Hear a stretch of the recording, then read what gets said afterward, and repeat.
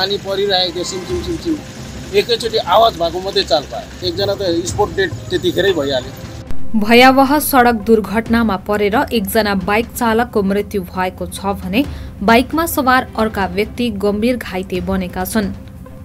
घटना जलपाइगढी जिल्ला अन्तर्गत पर्ने बानरहाट ब्लकको रेड ब्याङ्क मोड नजिक आइतबार राति भएको हो। घटनालाई लिएर रेड ब्याङ्क चिया कमान क्षेत्रमा सनसनी फैलिएको छ। जानकारी अनुसार लुक्सान तर्फबाट गइरहेको बाइक अनि बानरहाट तर्फबाट आइरहेको एउटा कार मुखामुखी हुँदा उक्त दुर्घटना भएको बताइएको छ। घटनापछि स्थानीयहरूले घाइतेहरूलाई उद्धार गरी बानरहाट अस्पताल पुर्याएका थिए।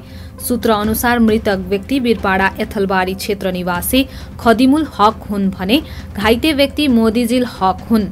जानकारी अनुसार कारमा सवार व्यक्तिहरू सकुशल छन् भने उनीहरू चमर्ची क्षेत्र निवासी रहेको बताइएको छ। पुलिसले दुर्घटनाग्रस्त बाइक र कारलाई उद्धार गरी बानरहाट थाना पुर्याएको बताइएको छ। हाल पुलिसले घटनाको छानबिन गरिरहेको बताइएको छ। त पानी परिरहेको थियो सिमसिम सिमसिम एकैचोटि आवाज भएको मात्रै चाल पायो। त्यहाँदेखिको मेरो बाइकमा त लाइट थियो। लाइटमा हेर्दाखेरि दुईजना झरिरहेको छ। बुझ्यौ त दुईजना झरिरहेको थियो। त्यहाँदेखिको बाइक रोक्यो।